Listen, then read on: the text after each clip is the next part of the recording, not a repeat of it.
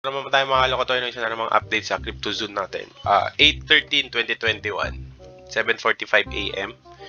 So, nagkaroon ng parang hindi na accumulate kasi da, ang sa Discord is nakalagay na dito na yung ZO1 natin na R1 accumulates turn play for more than no more than 2 hours. Meaning, until bonus ang bonus natin dito is nag-accumulate hanggang 2 2 na-stuck yung hindi kayo nakapag-fight, nag-stuck siya ng ganito lang.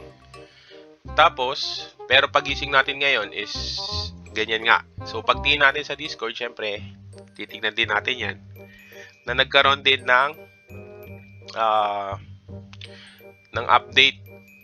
So, ito, galing kay Emma Z. The latest upgrade to the Fight Monster gameplay has been done. We choose to reset.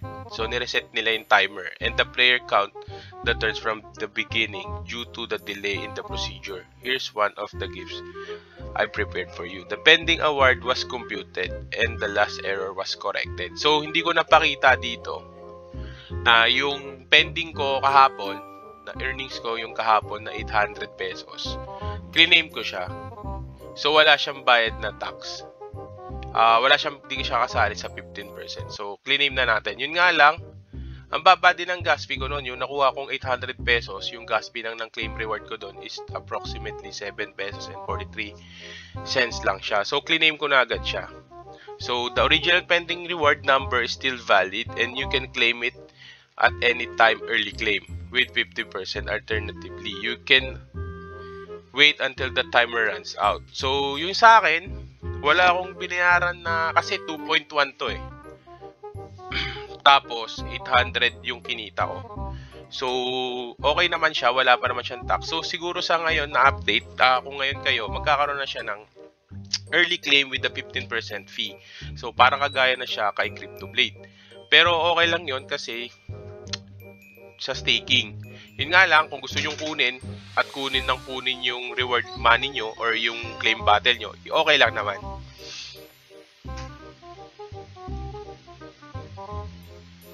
So ayan, nag-update sila kahapon, marami silang update.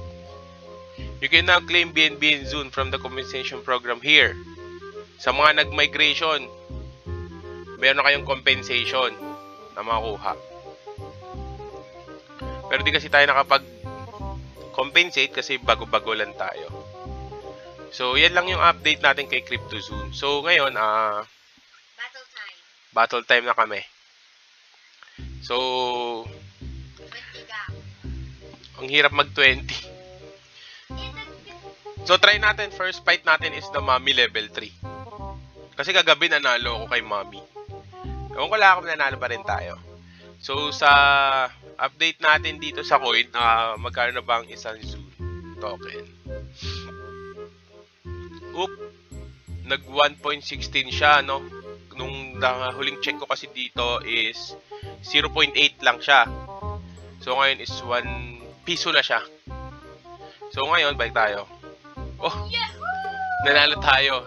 60 gang. So, ngayon, nanalo tayo dito ng 204. So, yan na, nag-reset na yung timer natin. So, dito, meaning to say dito, magkakaroon na tayo ng bonus turn per play. So, yun kasi yung sabi, dapat ma-reset. So, may claim na to. Pag binindot mo to, meron na siyang tax. So, cancel natin to. So, sa history, tignan na natin natin. So, ngayon, na uh, fight natin is ah, monster na pa natin is level 3, no? So, hindi natin napapansin.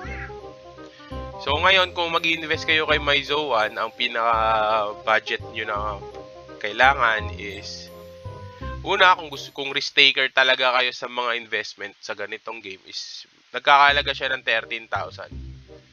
Kasi meron 12.5 yan, plus 500 pesos para sa hatching, plus gas fee. So, mga budget kayo ng 13.5. Ito random to ha, kung ano makuha nyo. Baka rare 1 to rare 6.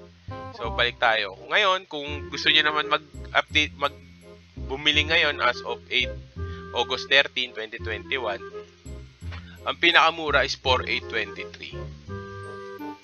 Yan, siya na yung pinakamura. Nabili ko yun sa akin ng 4,000, si Slander Plasmer. So, sila level 1 pa lang lahat. So, ngayon, uh, pwede kayo pumunta na rin sa fight bosses ng ano. Yun nga lang, wala tayo dyan. So, may mga classifications kasi. So, ngayon, okay naman siya. Si CryptoZone. Kumikita naman siya kahit papano. Nakakompensate. Hindi kagaya ni CryptoBlade na may issue pa siya as of today. So, ngayon, titignan natin ngayon si yung ROI ko pala is uh, nag-play ako 4 days. So, nasa 3,000 na ako. So, 1K na lang. Makaka-ROI na ako sa isang 1 Zoa natin. So, yes. Or mag-egg na lang tayo. I can't. So, mahal the egg. Baka bala ako kumuha pa ng isa pang slander. Na. Parang boring. So, yun lang, napaka-basic lang ng gameplay nito ni CryptoZone. Kasi ang gagawin mo lang is bumili ng Zoans.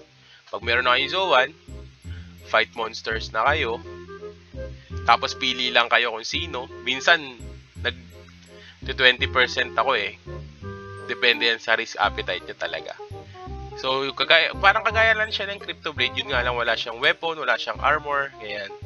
So, wala kayong classifications. Kumbaga dito, RNG kung sino yung lalabanan nyo sa apat.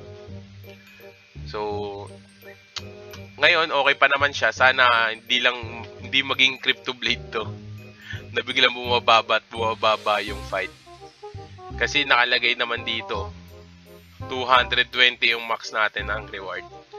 So, ang attack pala nito is every 4 hours. So, kung meron kayong apat na slander, eh, apat na turns yun. Yun nga lang yung ginagawa ng iba uh, may mga rare 6 na sila. So, sa 4 hours doon, 6 times na yung battle nila. So, mas profitable. Yun nga lang, ang investment mo doon is almost 100,000 na. So, sa agaya ko na budget meal lang tayo, doon lang tayo sa affordable. Affordable slander. Affordable but profitable naman. Pero not makukuha mo agad yung profit mo. Pero, syempre, kailangan mo lang din maghintay.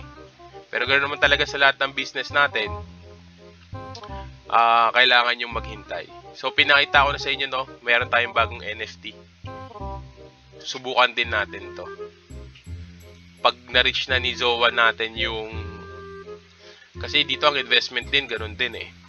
Pero dito naman din is 2 hours. Every 2 hours ang battle. So, yun lang. Papyaw ko yan. Pero nasa vlog ko na yan. So, ngayon, eh, i-end na natin yung battle natin. Di, uh, end ko na yung vlog ko dito kay CryptoZone. So, ilang yung update. So, sa mga hindi kasali sa Discord, hanapin nyo lang yung CryptoZone. Uh, dito kailangan nyo silang sundan kasi may mga guideline or may ma lagi silang may announcement na baka mamaya hindi nyo na paalalam na may ganito, may maintenance, laro kayo ng laro. So, kailangan nyo din tignan yung Discord community para makita. So, yan sila. Updated, nag-update naman sila. Updated din sila sa community ng Discord. So, meron din dito, sa mga hindi nakakita din, na yung CryptoZone third audit firm completed two various uh, two previous audits. So na audit sila.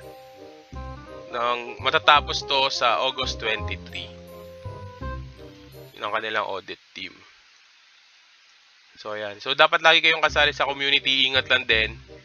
So ra-wrap up natin tong video na to na saying na huwag kayong click ng click ng mga phishing site. Huwag kayong click ng click ng i-check nyo lagi yung URL baka tama kasi baka mahack kayo kasi vulnerable talaga ang paglalaro nito dahil madali tayong mahack so kung makapag-invest din kayo ng hard wallet try nyo rin mag-invest ng hard wallet so ilang makala ko to eh please like, share, and subscribe na lang sa channel natin. Sa next update ko na lang din pala ipapakita kung magkano yung kinita ko ng one week dito sa CryptoZoom. So, yun lang.